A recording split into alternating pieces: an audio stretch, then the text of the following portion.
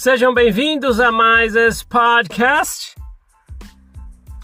É, vamos lá então, né? As conversas que nós temos que ter, na verdade, são sempre importantes, na verdade, uma mais importante que a outra. E hoje, por exemplo, né, temos que falar muita coisa.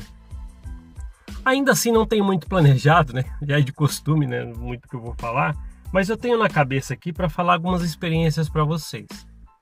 Na verdade, as experiências que, que eu vivi dentro da igreja, é, as pessoas já perguntaram direto para mim: Nossa, mas você só viveu coisa ruim na igreja? Não é.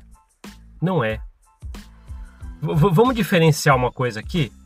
Daqui para frente, se você me ouve que é membro da igreja, eu vou pedir que você preste bastante atenção no que eu vou falar aqui. Às vezes você tá com a recomendaçãozinha no bolso e me ouve que sempre só para ver o que eu vou falar, não tem problema nenhum. Sinta-se em casa. Mas vamos deixar pré-estabelecido algumas coisas aqui para você também não ficar achando o que você quer achar. E às vezes não é isso. E se você já me ouve aqui, só vamos reforçar este pensamento.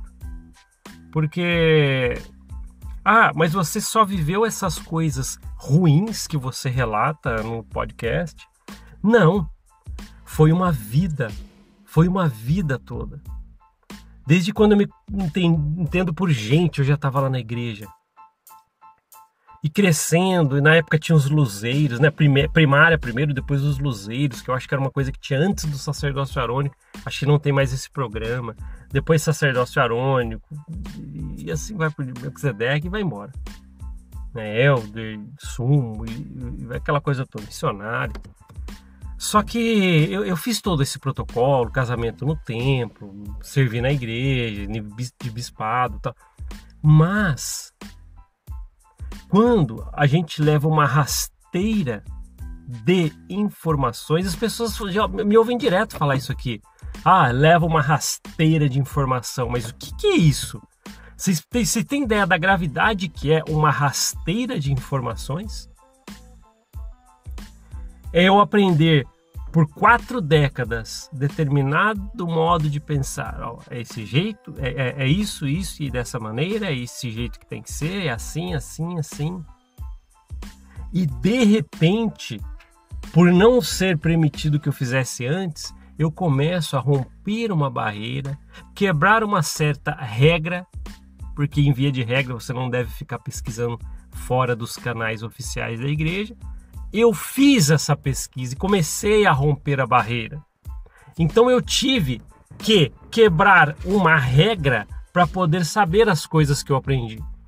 E a rasteira de informações que eu digo é eu começo a pesquisar fora dos canais oficiais e, come, e começo a aprender verdades que nunca eu vi lá dentro. E de repente, às vezes, sei lá, o sentimento que vem e aquela coisa. Né? Aquela coisa, poxa, quatro décadas e nem quantas conversas com líderes, quantas, quantas conversas dentro do templo, com presidência do templo, presidente da missão, e manuais daqui, manuais dali, e vê isso e vê aquilo, e conversa com um daqui, outro dali, outro que, ah, eu sou o guru da igreja, e conversa e conversa. E de repente a gente vai entender as verdades de toda a história da igreja, por exemplo, em canais fora da igreja que não são oficiais. Eu tive que quebrar uma regra da igreja para poder saber, porque se eu não tivesse quebrado, eu nunca ia atrás. Entende? Aí é aí que, eu que, que é o X da questão. O que é essa rasteira de. Olha a importância dessa rasteira de informações é começar a vir uma enxurrada. Sabe quando eu falo que cada enxadada é uma minhoca? Depois que você vai aprendendo as coisas fora dos canais oficiais da igreja, cada coisa que você, que você vai cutucar é uma minhoca, cada, cada enxadada é uma minhoca. Aí de repente você começa a, a ter uma enxurrada e turbilhões de coisas que não te ensinaram lá dentro e você se sente como? Porque tudo está vindo quebrar o que você aprendeu nesse tempo todo. Então eu chamo isso de uma rasteira rasteira que eu levei de informações por não terem me ensinado isso lá dentro por quatro décadas. Aí volto naquela pergunta: ah, mas você só viveu essas coisas ruins que você fala no podcast? Não. É que quem te derruba, quem te dá uma pedrada e você cai, você não fica voltando lá para encher essa pessoa de beijos, não é verdade? Então, se eu levei essa rasteira de informações em um lugar que eu confiei por quatro décadas e levei essa rasteira, eu não vou ficar voltando lá encher de beijos. Então tenho coisas para falar. Isso acabou virando uma, um alerta na minha vida. Vivi as coisas boas e que, que eu aprendi, e teve e está guardado comigo. Mas e aí? O alerta que fica dessa, entre aspas, pedrada de, que eu levei da igreja, porque não me ensinaram essas coisas lá. Eu levei uma pedrada. Se a igreja fosse uma pessoa, eu considero que é uma pessoa que jogou uma pedra na minha cabeça e eu caí e machucou. E aí? Vou entrar de beijo, vou começar a elogiar todas as coisas maravilhosas dessa pessoa que me jogou uma pedrada? Não, não. Eu vou começar a fazer alertas e alertas e trazer as coisas que precisam ser ditas. É isso e pronto. E vai ser assim. Então eu preciso deixar clar, claro para você que tem a recomendaçãozinha no bolso, que é um membro ativo da igreja que me ouve aqui, um missionário de tempo integral que me ouve, um líder que me ouve, até autoridade diária que eu sei que me ouve. Tudo bem com você? Eu sei que você me ouve aqui, já fiquei sabendo. E aí? Vou ficar enchendo de beijos essa, essa corporação? Teve coisas boas, lógico, tive que viver lá. Mas e as pedradas e pedradas que hoje eu vejo que eram pedradas e eu, eu, eu justificava? Até vinha a pedrada final que é aquela, poxa, que rasteira de informação que você, que você me deu em Corporação Mormon. E é isso, é por isso que hoje eu foco nas coisas que machucaram. Porque o que as pessoas precisam saber é o que machucou. Para que elas possam, de algum jeito ou de outro, ser, serem levadas a pensar em algo mais do que só naquele quadradinho que te colocam dentro e falam: Ó, oh, você está livre enquanto estiver dentro desse quadradinho. Entende? Isso é de extrema importância. Então, por isso que eu precisava deixar essa divisão bem clara. Ah, mas você só viveu essas coisas? Não, vivi muitas coisas boas, tive amigos, até hoje tem amigos que permanecem. Lógico, muitos me abandonaram de vez, né? Lógico que não tem a real empatia que falam que tem lá dentro. Mas muita coisa permaneceu, mas as coisas que machucaram são muito significativas para eu ficar quieto. Principalmente de um lugar que me deu uma rasteira por quatro décadas. Assim que eu me considero. Você se considera do jeito, considere-se do jeito que você quiser. Mas no meu caso é isso. Então sim, vamos falar de muita coisa. Ah, mas você fala bastante de líderes. Quando você entra na corporação Mormon, tudo você tem, para tudo você tem um líder. Se você está numa organização, vamos, sei lá, moças, tem uma para começar na, nas moças ali, você já tem três líderes, que é a presidente e as suas conselheiras. Depois você tem mais três líderes, que é o bispo, que é o conselheiro e outro conselheiro. E depois tem um, e, e vai indo, e vai indo. O, o, o que você tem que saber é uma coisa. As pessoas falam assim: ah, mas você fala muito de líderes. É que cada organização que você participa dentro da igreja, você tem ali no mínimo três líderes só dentro da organização. Então, é muito fácil você ter estas experiências com líderes. Tem membros muito bons, Ó, me vem à cabeça aqui pessoas que realmente queriam estar lá de bom coração. Você fala, nossa, olha que ele está se entregando, você vê que não tem maldade nenhuma. Como eu já conheci membros que tem aquele sorriso amarelo e, tem, e, e são falsos. Quanta gente falsa eu conheci dentro dessa corporação? Que ali dá bom dia para você, bom, domingo aperta sua mão, né? Dá aquele beijinho de cobra. Quem, quem que nunca passou por isso? E tem, e tem, tem e tem. Só que quando a gente fala dos líderes, que a maioria das vezes vem esses assuntos, é que no meu caso, por exemplo, trabalhei em liderança da igreja muito tempo e, e, e, vai, e você vai tendo essa convivência a ponto de você acabar vendo essas canalices de muitos deles, não todos. Eu estou tomando muito cuidado ultimamente para falar que tem sim pessoas boas, líderes bons. Que eu conheci, que estavam ali servindo na igreja também de bom coração, bom grado, e que se sentia, poxa, essa pessoa tem um bom coração. Então, hoje, dando passos fora dessa corporação, eu consigo visualizar lá dentro, voltar na minha mente nessas histórias, nessas pessoas e saber. Hoje eu consigo analisar quem realmente estava sendo uma boa pessoa ou não. E infelizmente hoje, fazendo as meditações fora, olhando de fora, olha como que é, como, como que essa pessoa agia, como ela movia as peças do tabuleiro, aí você acaba vendo o quê? Não, na verdade aquilo ali é uma cobra peçonhenta. E quantos líderes tem assim? Então por isso que às vezes aparece tanta, uh, tantas histórias assim. E vamos trazer muitas histórias assim ainda. Deixa eu só fazer um parêntese, né? Que provavelmente vocês já devem ter ouvido barulhos externos. É que hoje, mesmo é, no lugar habitual que eu faço as gravações, o barulho externo é muito alto. Então, às vezes, você vai ouvir, é vizinhança, tal, é cachorro latindo, carro passando. Eu só tô fazendo esse adendo aí para você não ficar bravo comigo depois. Pô, eu tava ouvindo no fone de ouvido minuciosamente e escutei os, os cachorros latindo. você vai ouvir mesmo. Né? Mas vamos voltar aqui. Às vezes é por isso que a gente fala bastante dos líderes aqui. E são esse, esse os líderes, é, é, é, nas mãos deles que ficam o, os, o emocional das pessoas. Elas entregam de bandeja. E se você já tem, como eu já falei, que é um líder predisposto para ser um canalha, um, um cachorro, um cafajeste, ou simplesmente um manipulador, tá ali com o emocionalzinho seu ali. Se você está lá dentro, para fazer o que quiser, porque você confia de todo o coração no ungido do Senhor. E é assim que você, você o trata.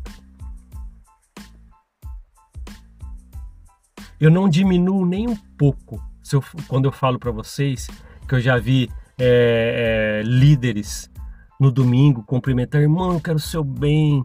É, ah, numa entrevista, por exemplo, ah, irmão, ore mais, você tem que fazer mais jejum, suas doações, fique firme, venha nas reuniões, leia mais o livro de Mormon. E quando acaba a entrevista, o líder chegar e falar assim: Nossa, eu falei com aquela chata daquela irmã, não aguento mais falar com ela. Ah, mas não é verdade o que você está falando. Eu não importo com o que você acha, porque as coisas que eu estou falando aqui, como essa agora, tá aqui na minha mente, ninguém tira.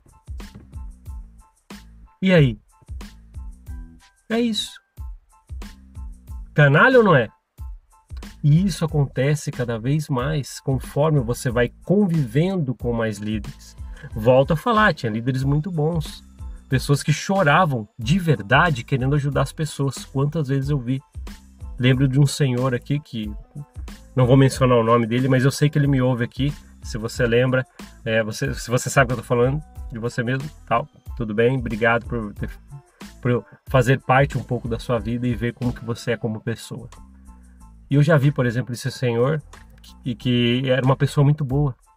Eu lembro que ele ajudava as pessoas, ele dava conselhos, ele era um líder, mas você vê, era até uma pessoa humilde, mas ele falava com uma clareza e, e queria ajudar. Ele queria ajudar. Eu lembro que na, na, liderança, tal, fazíamos parte, ele chegava, nossa, eu tô me sentindo muito mal porque eu preciso ajudar mais aquela pessoa. E ele fazia em secreto, depois você descobria, ele falava, não, eu fui lá, ajudei. Ele nem queria falar, é, é que depois, depois descobriam que ele ajudava mais do que necessário. Você vê que a pessoa faz de bom grado, não porque o manual azul ou vermelho está falando para fazer. E já tem canalhas como esse, que é capaz de fazer uma entrevista com uma mulher. Ah, ore mais, lê o livro de Mormon. Depois que ela sai, ah, acabei de falar com essa chata. Eu vi. E aí?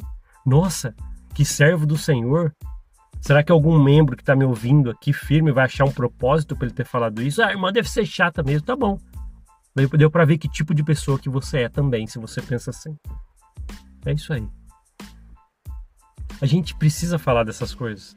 Demais, demais, demais. O podcast, esse podcast é para isso e nós vamos fazer cada vez mais. Teve uma pessoa que comentou uma vez em um, é, no, no YouTube, né? Se você está ouvindo pelo Apple Podcast, Google Podcast ou Spotify, eu sempre dou esse recado, né? Então não pode falhar esse recado. Quer comentar? Vai até o YouTube nesse mesmo episódio faz os comentários que ali tem área de comentários e as pessoas também podem interagir com o seu comentário. Tá bom? Então é importante a gente falar isso. Então eu vi um comentário uma vez no YouTube de uma, de, uma mulher que ela falou que ela conheceu vários líderes safados e já, já pegou. Olha só, ela conheceu vários líderes safados. Por que, que ela usou essa palavra? Às vezes as pessoas falam assim: ah, vocês ficam jogando no nosso podcast palavras fortes para líderes. Não, é determinadas peças raras que tem dentro dessa, dessa corporação como líderes que tem sim é, é, é, esse seleto grupo de líderes que são canalhas e safados, para ponto dessa irmã que comentou, ó, irmã, tô chamando de irmã porque eu sei que ela tá ainda na igreja. E ela comentou algo assim, ó, é, é, é eu, eu quando eu frequentava, acho que ela tava, não sei, ela falou assim, mais ou menos assim, quando eu frequentava a ala tal, ela estava falando de uma ala que ela frequentava. Tô tentando lembrar do comentário dela que eu não tô lendo aqui. E ela falou que ela sabia que li, tinha líderes que entrevistavam ela e depois ficavam falando dela por trás. Só que no caso dela era o âmbito sexual da coisa, entende? Aí eu, eu lembro até hoje, quando eu vi esse, li esse comentário, se você que fez esse comentário, até obrigado por ter comentado. Eu não lembro o seu nome, não estou lendo ele agora, só lembrei do seu comentário aqui. Desculpe não mencionar seu nome, que eu não estou vendo aqui. Mas me remeteu esse, esse comentário. Por quê? Eu também já tive experiências que eu peguei, é, é, presenciei líderes fazendo a mesma coisa. Entrevistando uma mulher a portas fechadas e depois comentar. Numa roda ali que está entre outros líderes, que ele pode confiar, entre aspas, não é verdade? E falando assim, ai, falei com aquela irmã, ai, se eu pudesse naquela salinha, e sabe, falando coisas que eu não quero mencionar aqui. Você acha que não tem isso? Vocês acham que não tem? Essas coisas nós temos que trazer para cá. Esse podcast é para a gente falar coisas como essa, para que você saiba o que tem dentro da corporação. Ah, mas isso nunca aconteceu comigo, eu já falei. Você está na ala, ala dos unicórnios, na estaca do arco-íris, tranquilo. E na verdade é até bom, eu agradeço que não aconteceu e você não presenciou essas coisas, porque não são coisas agradáveis. Mas acontece vários episódios como esse. Me recordo aqui agora, mais um, um, uma experiência para falar para vocês, ainda a respeito disso, de entrevistas. Eu lembro que nós estávamos entre líder e de repente um líder fala assim: ai, não vejo a hora de entrevistar aquela bonitinha lá. Nossa, aquele vestidinho que ela veio no domingo, como é que será que vai ser na entrevista? E aí? É ungido do Senhor, né? Talvez você aí que quer passar um pano, que é da está firme na igreja, com a recomendaçãozinha no bolso, que eu entendo, tá? Eu entendo porque você pensa assim. Às vezes você vai falar assim, será que tem alguma justificativa? Ou simplesmente você fala, não, mas o Senhor tira as pessoas que não servem bem. É, é, tudo bem, tá lá até hoje. E aí? Anos. Quantas pessoas será que ele entrevistou fazendo isso? Pensando essas coisas. E aí? E às vezes ele está lá entrevistando. Se você me ouve aqui, às vezes pode, um, um, líder como esse pode estar entrevistando sua esposa, sua filha, e pensando isso. Ah, mas isso não acontece. Como não? Acabei de falar de um comentário de uma pessoa real que comentou o que ela, que ela era entrevistada e as pessoas falavam e ela descobriu que líderes ficavam falando depois por trás e é, é, em âmbito sexual a respeito dela, assim como as experiências que eu estou falando aqui. É pesado essas coisas que a gente traz aqui. Às vezes o clima é muito pesado, é. Mas é o que eu falo. Como é que você vai falar de uma maneira tão bonitinha de uma canalice dessa? Sinceramente, eu queria no YouTube, né? Às vezes você está no Spotify, Google Podcast, Apple Podcast e nem vai querer no YouTube, porque você já está habituado a ouvir sempre nesses, nesses aplicativos. Mas se você puder, ou você que já está ouvindo pelo YouTube, Comente, eu queria que você comentasse se, se, se, se já aconteceu isso, se você já viu experiências assim. Porque às vezes você coloca assim e complementa o podcast. Às vezes você faz. Eu já falei muito sobre isso, né? Às vezes a gente fala as coisas aqui e você vai e faz o comentário. Ah, mas eu também já vi isso, isso, e um líder que depois ele falou isso e fez entrevistas assim. Às vezes você fala uma coisa que complementa. Eu adoro quando as pessoas escrevem, é, escrevem os comentários, porque às vezes, e eu já vou e eu falo isso de todo o coração. Eu já, já fiz podcast aqui de 40, 50 minutos. E uma pessoa ouvinte do podcast fez um comentário que para mim superou um, um, um comentário de um parágrafo. O que ela quis dizer naquele comentário superou tudo que eu falei nesses 40, 50 minutos.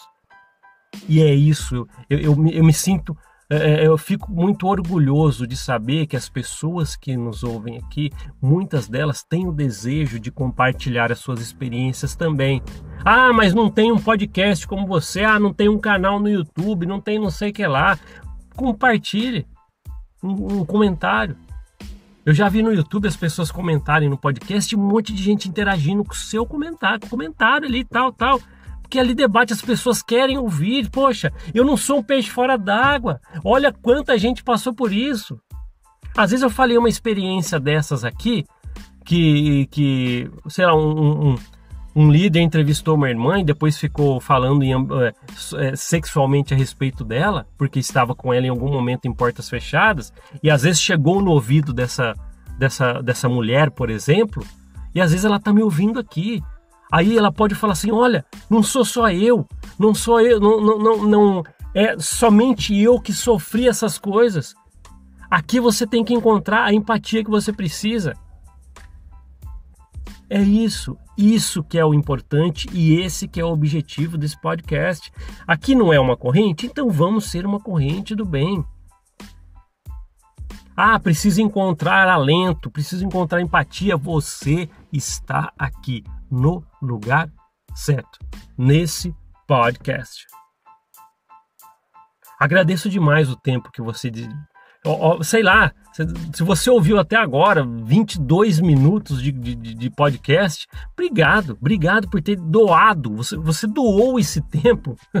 Na igreja né, você tem que doar sua vida mesmo, que você doou esse tempo para ouvir um pouquinho alguém que passou um tempo dentro dessa corporação. Espero que talvez tenha te trazer, sei lá, que, que traga para você um, um, alento e fala assim, poxa, olha, eu não sou um peixe fora d'água. Olha o que ele falou, passei por algo semelhante. É isso que eu quero que você, que, que você sinta. Você não está sozinho, não é peixe fora d'água, não. Estamos junto nessa, estamos junto nessa.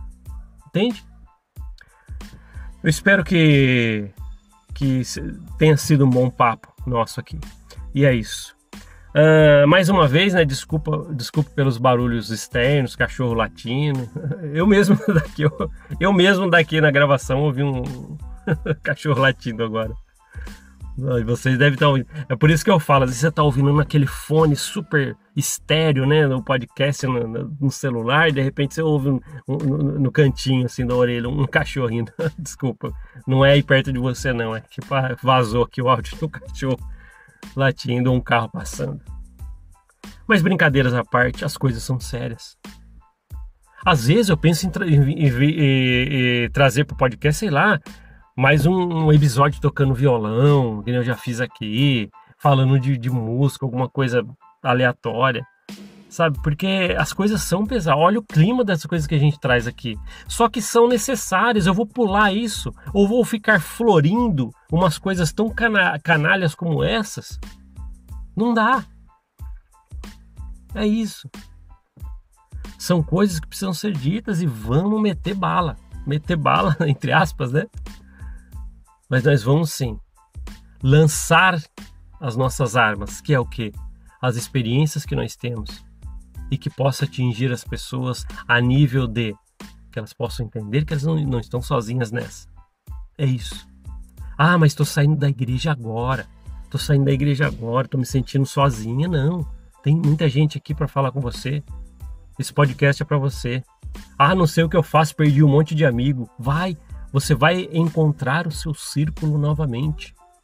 Vai acontecer isso com você tem grupo de grupos de ex-mormons no Facebook, em outros lugares. Você vai encontrar muita gente que você vai acabar conversando. Às vezes você faz um comentário no YouTube, por exemplo, nesse episódio que você está ouvindo agora. Você que saiu recente da igreja, às vezes você vai fazer um comentário um pouquinho sobre a sua história, que você se sentir à vontade a falar.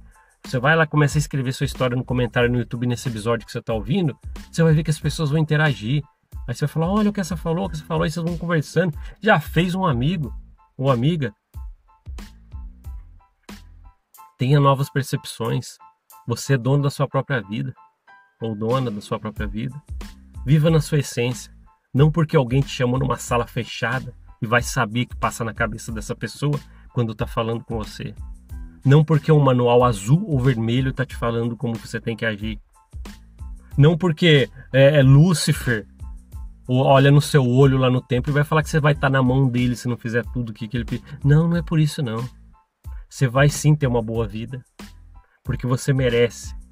Eu sempre falo, né, as pessoas que viveram poucas e boas dentro dessa corporação, quando elas saem, mesmo que seja por uma rasteira de informações que dói, elas têm todo o merecimento e direito de, de dar a volta por cima e mostrar, poxa, poxa, eu estou bem agora. E bem, bem, bem melhor. E é isso. Obrigado por ouvir esse podcast. A gente se vê na próxima. Até mais. チゃオチャオ。